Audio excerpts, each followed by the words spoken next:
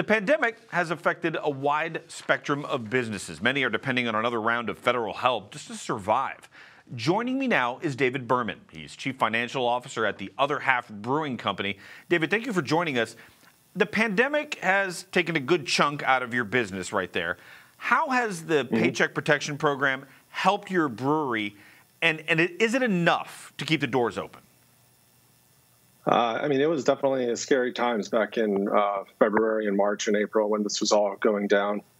Uh, we were very fortunate to apply and to get accepted into the program, and that really was a lifeline to our business to be able to hire back uh, about 25 to 30 percent of the employees that we had to let go uh, during the height of the pandemic, um, and that was able we were able to retrain them and put them into different positions. Um, so it was, it was a lifeline to our business your company has expanded into several locations throughout New York City and even also expanded into Washington, D.C. What are some of the challenges you faced as a small business while having to expand and, and trying to expand during this pandemic?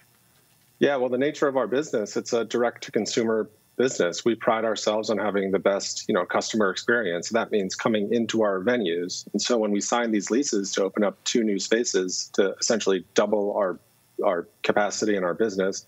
Uh, we signed these leases in 2018. Obviously, we thought 2020 would be a totally different environment than it became, and it's been you know a, a real struggle to for for especially the new businesses in a in a new city, you know, to get people in the doors and get people aware of, of our product and um, you know having a an ongoing business in Brooklyn was was great and the Finger Lakes region, uh, but the DC area has been has been definitely a struggle the brewery business is big, but it's also a tight knit family. Your brewery is helping other businesses during this pandemic. How is the company supporting them while you yourselves are, are trying to keep the candles lit? Yeah, I mean, well, it is such a great community, and uh, we threw a beer festival called Pastry Town uh, right in the middle of February, and then a week or two later, the New York City shut down, and we had hundred of our best brewery friends from across the world come to New York. We hosted them.